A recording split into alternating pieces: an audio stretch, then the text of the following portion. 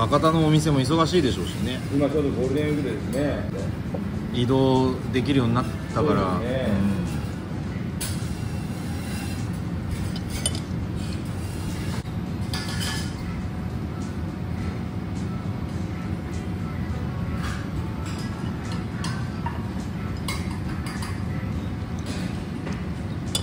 うま？う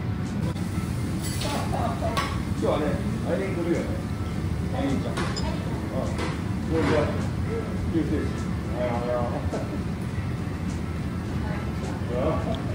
う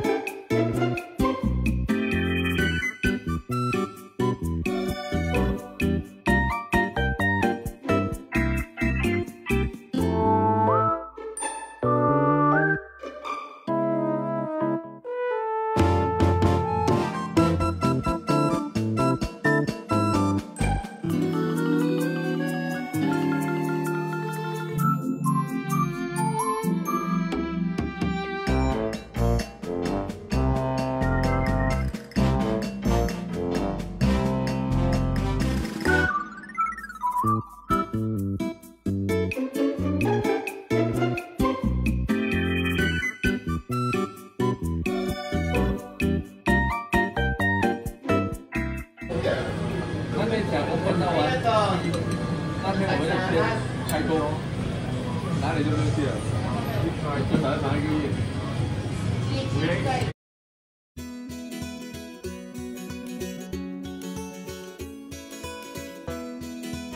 はい皆様こんにちは。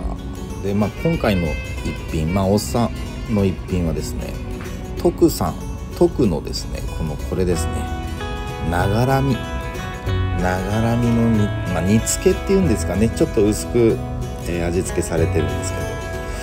このながらみがですね美味しかったんですよ。まあ貝類好きの方はねながらみって結構、えーと、メジャーだとは思うんですけどまあね貝あんま食べない人は何なのっていう方もいらっしゃるかと思いますが、まあ、九州はねあの似た貝でニナとかミナとか言ったりする貝もあったりするんですけどまあながらみは少し、まあ、ちょっとね違う種類なんでしょうけど美味しかったんですね。でこれ。これがまた美味しかったです。カマスの炙りですね。これがねまた身厚で美味しかったですね。でこの柚子胡椒とまあさすが徳の大将。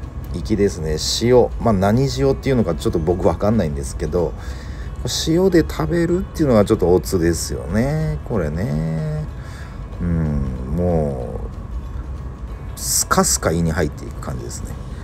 もうすんごい僕からするとまあカマス自体好きなんですけどそれをね炙り焼きにして皮目炙っていただいてこれも美味しかったですね。これもまあ特の一品って感じですよね。でまあ夢中になってねカマス食べるんですけどね。この間にもね、まあ、大将と語らい語り合ったり、まあ、してるわけですけれども、まあ、そういうことをね語ったりしながら特の大将にまた注文するということですね。これもう私の大好物。ガンモですね。特のガンモうまいっす。まあ手作りじゃないのかなガモ自体は。手作りじゃないのかもしれませんがこのまあシーラーがいいわけですよね。うん。でまたこれまたまあ動画何回も出してるのが続いてますけど特のロービーです。ローストビーフ。これがねまあもうこの年になるとねもうやっぱ赤身が美味しいんですよね。えー、もう最高でしょうこれ。ネギとわかめと柚子胡椒。まあ最高に赤身がうまいと、はい、いい火の通り具合っていうね感じで。まああったら必ず頼んでますね。もし皆さんね特でこの今ご紹介したメニューがあれば、まあ、私の中ではマストですので是非ね頼んでみてはいかがでしょうかまあおっさんの一品のコーナーは短かったですけども、まあ、今回もねちょっと一軒新しい店をご紹介させていただきました、ね、鉄板焼き食べたくなったら皆様いかがでしょうかってことで今回もご視聴誠にありがとうございました。